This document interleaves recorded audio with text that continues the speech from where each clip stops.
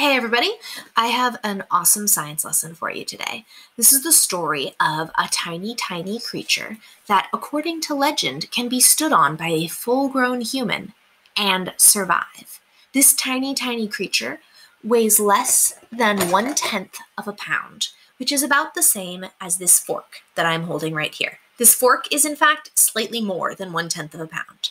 So, this is a story of a tiny creature that weighs as much as this fork and can survive insane amounts of stress on its spine. So, we're going to learn about the spines of a creature called the hero shrew. Now, before we can start talking about this actual story, I want to make sure you remember some of the things we've learned in the classroom before. So, all of you have done the work about the different body functions of animals. They come in those little red fabric folders that we have. And it talks about, you know, how the animals reproduce and how they move and what covers their body and if they have an internal skeleton, things like that. One of the things we talked about in that lesson is how all of us, all mammals, humans being mammals, have vertebrae. These are all the sections of your spine that protect the little cord that runs through the middle of it that delivers the information from your brain out to your body and from your body back to your brain. It's like the protection of your spine so it stays safe. We are called vertebrates. That's our classification in science because we have vertebrae. We have a spine that protects our spinal cord. All mammals are vertebrates. All birds are vertebrates. All reptiles are vertebrates. All amphibians are vertebrates. And all fish are vertebrates. So, all of those things have these vertebrae in our spines, are things that help keep us safe. Now, in most creatures, they look fairly similar. They're bigger or smaller depending on the size of the animal. But if you've ever found an animal skeleton while you're out digging in the yard or out in the forest, I know we found some together, you can normally recognize what vertebrae look like because they're the same basic shape. They're these little connection bits. However, for the hero shrew, that is not the case. If you found the vertebrae of a hero shrew laying on the ground, you would probably not recognize it as a vertebrae at all. And that is what makes the hero shrew special. So let's get down to business. First, shrews. They are these itty bitty little mammals that look like rodents, but are technically not rodents. So remember that in order to be classified as a rodent, a creature has to have those teeth that'll keep on growing forever and need to be worn down. The two, like ones right in front that you see on our pet rats and that you see when someone draws a drawing of a rabbit, things like that even though rabbits are not technically rodents. Anyway, on our pet rats, those teeth, that's rodent teeth. Shrews are not considered rodents, even though they're closely related, because they have little spiked teeth instead. Their teeth are made for chomping and stabbing. They're more closely related to like moles and hedgehogs, but they're still in that same class of itty bitty fluffy little mammals.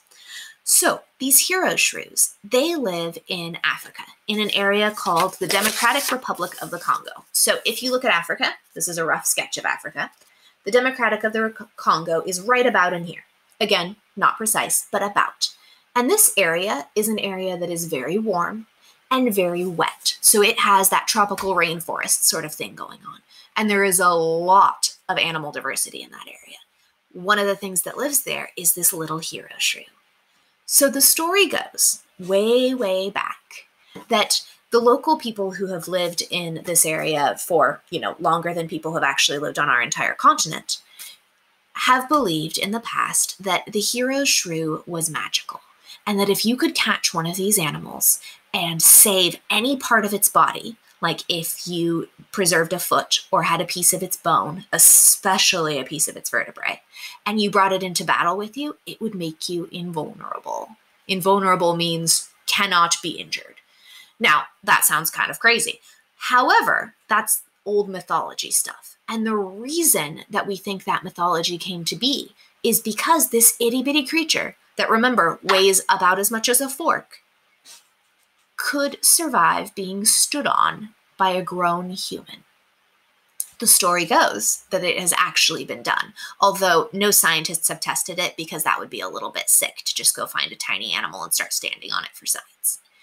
But the reason that these hero shrews are so strong, that according to the story, people have been able to just stand on them for minutes, like with their whole weight standing on this tiny shrew and then get off and the shrew will be okay, is because they have an amazing spine. Their vertebrae are a different shape than the vertebrae of other mammals, of most creatures, even of other shrews. So their vertebrae are wider, which makes them stronger their vertebrae are denser. What that means is that if you had two vertebrae that were the same size, theirs would be heavier because there would be more stuff in it. When we think about bones, remember that bones aren't actually solid. They're solid on the outside, and then the inside is full of lots of little crisscrossy bits of bone that make it strong, but there's still gaps in there. And in the hero shrew, there are less gaps. In their vertebrae, there's more of the crisscrossy stuff going back and forth to make it stronger. So their vertebrae are bigger. Their vertebrae are denser, which makes them stronger. And their vertebrae are a different shape. Their vertebrae have lots of little, like, in and out teeth on them. So they actually fit together with the ones next to them, kind of like this. Kind of like how a zipper sits together, or if you took two combs and squished them together, how they would have all these bits that lock in. Normal vertebrae don't have all of these locking in bits. And what this means is that if the hero shrew tenses its muscles in a certain way, it can take its vertebrae from being like this and squish them together, which basically turns it into one solid piece. It means that while they've tensed it in like that, they can't run around and move as well, but they're super, super strong. And this means that this creature could in theory, be stood on by a full grown adult without actually smashing because its spine is so amazingly strong. Now, this has scientists all kinds of interested. It has me all kinds of interested.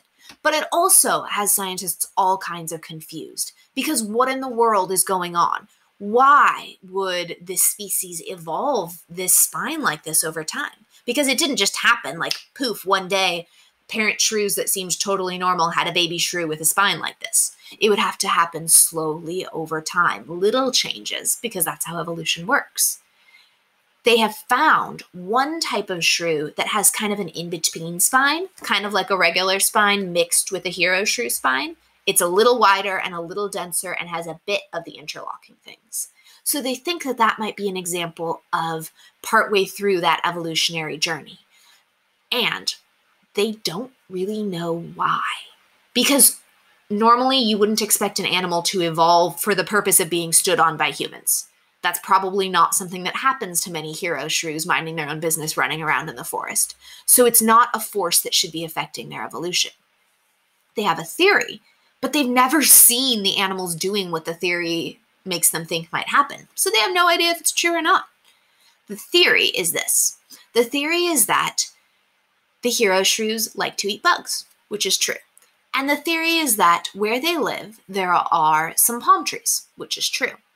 And they think that the hero shrews might climb up the trees, stick their bodies down between two leaves like this, and then use their spine as like a lever to pry the leaf bases apart and get the little grubs that are hiding down beneath. They think that having that really strong spine that they can tense and then like push against like a lever, like when you want to lift something really heavy and so you stick a stick under it and then push down on it. They think that the shrews might be using their spines to help get them the leverage to pry those leaves apart and get the grubs down in beneath. But no one has ever seen it, so they don't know if it's true. And it's really, really hard to study because, first of all, the shrews are tiny and they live in a big forest and they're hard to find. But second of all, the place that they live is a place that has had a lot of fighting going on there for a long time. So it's not a place where you can just stroll around and study and be safe, which means that these little hero shrews are like the land of mystery right now, which means this is the end of our story. Scientists don't know that much about them, so I can't tell you that much about them. But I can encourage you to check out the pictures that are linked down below of a regular shrew spine next to a hero shrew spine because it will blow your mind. It is super cool. For follow up, maybe you want to research what regular vertebrae look like in a general normal mammal. Maybe you want to see if you can feel all the way down your back and count yours. and then look up and see did you get the right number? How many vertebrae do humans have? Maybe you want to research shrews in general and learn about just them as a species because they're pretty interesting little guys. Maybe you want to research the Democratic Republic of the Congo in Africa and figure out what other animals live there or what stuff is going on there that's making it not a place where scientists can go catch shrews and study very easily. You could follow up however you like, but do something, even if it's just writing down what you learned, and have a wonderful day.